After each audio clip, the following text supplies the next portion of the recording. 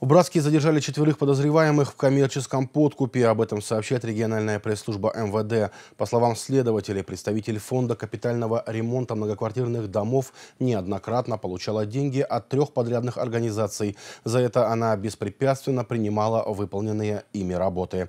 Общая сумма незаконно переданных средств составила 250 тысяч рублей.